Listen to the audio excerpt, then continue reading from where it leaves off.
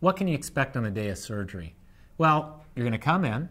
We like to give you a little bit of Xanax to kind of calm you down. It doesn't put you to sleep, but it definitely relaxes you. It just puts you kind of at ease. And we're joking and laughing and trying to tell you what to expect, which is the most important part. And that's why I encourage you to go watch me having laser vision correction. The number one thing that we do is make the flap, and the number two thing we do is laser away your refractive error. The first part is kind of uncomfortable. It feels like I'm pushing on your eye really hard.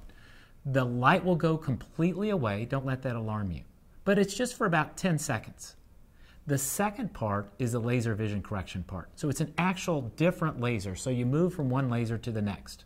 Now that second part, everybody complains about one thing, and that's the lid speculum that holds your eye open. But they also worry about one thing too. Am I going to be looking in the right place? Well, we're going to make sure you're looking in the right place.